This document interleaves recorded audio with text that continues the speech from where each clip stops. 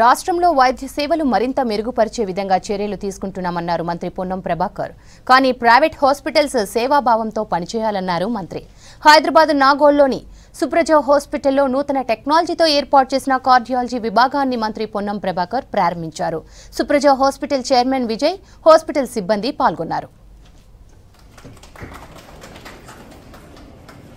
Latest equipment తీసుకొచ్చి ప్రారంభోత్సవం చేసుకున్న సందర్భంగా నేను శుభాకాంక్షలు తెలియజేస్తూ వైద్యం ప్రభుత్వ కార్యక్రమం అయినప్పటికీ పెరుగుతున్నటువంటి అనారోగ్య పరిస్థితుల దృష్ట్యా ప్రైవేటు కూడా మరి డాక్టర్ల ద్వారా సేవలు అందించేటువంటి ఒక కార్యక్రమం జరుగుతూ ఉంది.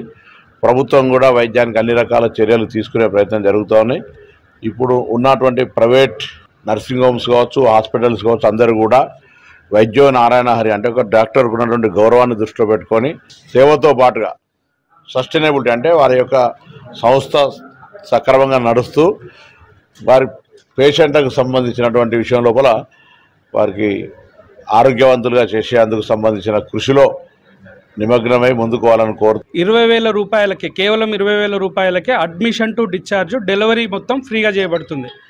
Uh, with medicine C sections కానీ సిజేరియన్స్ కానీ కంప్లీట్గా ఇరవై వేల రూపాయలకే చేయబడుతుంది. Uh, తెల్ల రేషన్ కార్డు ఉన్న ప్రతి మహిళకి ఇది ఈ రోజు నుంచి అది బయట అరవై వేల నుంచి లక్ష రూపాయల వరకు ఖర్చు అవుతుంది. ఇలాంటి హాస్పిటల్లో లక్ష యాభై వేల వరకు ఖర్చు అవుతుంది. అది మేము ఇక్కడ ఇరవై వేలకే తెల్ల రేషన్ కార్డు ఉన్న ప్రతి మహిళకి ఇరవై వేల రూపాయలకే చేద్దాం అనుకుంటున్నాం. ఆ స్కీమ్ పేరు సుప్రజ మాతృ సంరక్షణ.